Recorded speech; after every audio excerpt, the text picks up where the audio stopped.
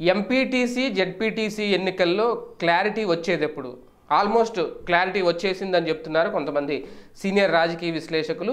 ఎట్టి పరిస్థితుల్లో మార్చిలో అయితే ఎన్నికలు నిర్వహించడం సాధ్యం కాదు ఎన్నికలు జరగవు అనేది ఒక పక్కన చెబుతున్నమాట అయితే ఎన్నికలు అనేవి ఏప్రిల్ నెలలో ఇంకా అంటే వచ్చే నెలలో మార్చి అయిపోయిన తర్వాత ఏప్రిల్ నెలలో ఎందుకంటే మార్చి ముప్పై ఒకటో తేదీకి ప్రస్తుతం ఉన్న ఎన్నికల కమిషనర్ నిమ్మగడ్డ రమేష్ కుమార్ గారి పదవీ కాలం కూడా పూర్తి కాబోతున్న నేపథ్యంలో కొత్త కమిషనర్ వచ్చిన తర్వాత ఏప్రిల్లో ఈ ఎంపీటీసీ జడ్పీడీసీ ఎన్నికలు నిర్వహిస్తారు.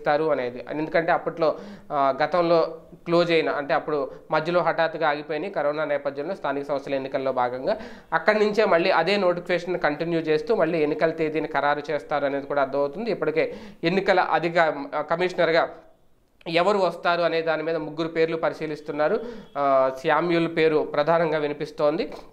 నీలం సాహ్ని గారి పేరు కూడా పరిశీలనలో ఉన్న శామ్యూల్కి అవకాశం ఇచ్చే ఛాన్స్ ఎక్కువగా ఉంది. ఆయన ఎన్నికల కమిషనర్గా రాబోతున్నారు అనేది. ఒకవేళ అదే కనుక నిజమైతే మార్చి ముప్పై ఒకటితో ప్రస్తుత ఎస్ఈసి నిమ్మగడ్డ రమేష్ కుమార్ గారి పదవీకాలం ముగిస్తున్న నేపథ్యంలో కొత్త ఎన్నికల అధికారి శామ్యూల్ గారి ఆధ్వర్యంలో ఇప్పుడు ఎంపీటీసీ జడ్పీటీసీ ఎన్నికలు నిర్వహించే అవకాశం కనిపిస్తుంది. అది కూడా ఏప్రిల్ నెలలో ఎన్నికలు జరుగుతాయి అనేదే ప్రధానంగా వినిపిస్తున్న అంశం. మరి ఏం జరుగుతుందో చూడాలి.